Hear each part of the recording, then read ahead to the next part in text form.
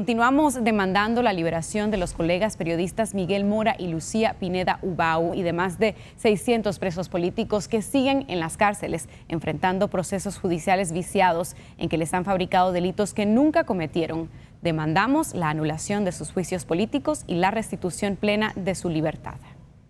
El pasado martes se anunció la hoja de ruta para la mesa de negociación entre el régimen Ortega Murillo y la Alianza Cívica por la Justicia y la Democracia. Se extendieron invitaciones a la Conferencia Episcopal de Nicaragua y a representantes de la Iglesia Evangélica para que fungiesen como testigos y acompañantes nacionales. Este viernes por la tarde los obispos católicos contestaron que no participarán en las negociaciones, lo que cambia el esquema trazado por ambas partes para llevar a cabo esta negociación.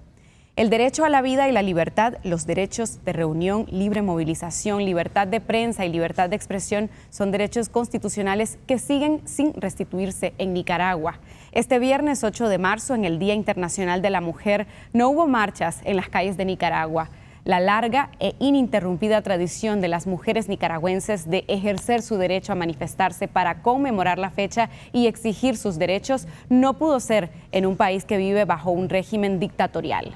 Sin embargo, las mujeres están más presentes que nunca. Lo han estado a lo largo de la vida de nuestro país denunciando la desigualdad, los atropellos y las injusticias. Y lo están hoy, en este momento trascendental de la historia en cada uno de los ámbitos y creen que es tiempo de que Nicaragua sea un país libre y en democracia. Hoy rendimos homenaje a las mujeres nicaragüenses porque sus aportes y su lucha en una sociedad históricamente desigual siempre han existido, pero no han sido lo suficientemente reconocidos ni visibilizados. Hoy aplaudimos el coraje, la fuerza y la valentía de las presas políticas que siguen plantándose ante el régimen Ortega con una huelga de hambre, resistiendo abusos y torturas de las activistas que siguen alzando su voz en cada espacio para denunciar las violaciones de derechos humanos que ha sufrido el pueblo, de las periodistas que no han claudicado en su labor de informar y denunciar, de quienes estuvieron en las protestas en las calles, de quienes continúan manifestándose desde las redes,